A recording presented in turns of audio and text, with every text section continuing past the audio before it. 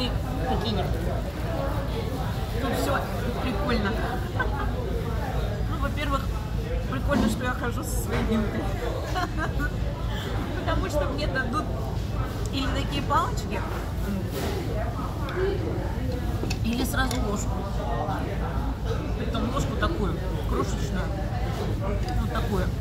И я должна буду ей есть пельмени, например. Вот в этом торговом центре мы питаемся уже сегодня, ну, в общей сложности, десятый день. Ну, там, отъезжали в Тайвань, но все равно десятый день. И все еще э, закусочные, все кафешки еще не прошли.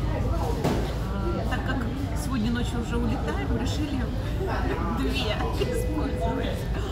Сначала зашли, суп взяли, по супу съели. Все вкусно, очень неповторимо, каждый раз неповторимо. Удивляемся.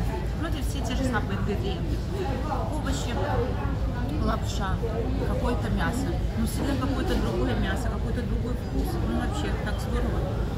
Вот. А потом решили пельмени. Пельмени тут, пельмени где-то 12, наверное, видов. Эм, Сейчас уже 9 час вечера, поэтому трех видов нет, но все равно еще 9 есть. Мы вот выбрали один вид. Вот Эти вот 15 пельменей стоят э, 1 евро 50 центов. То есть один пельмень получается 15 центов. Ну, на двоих э,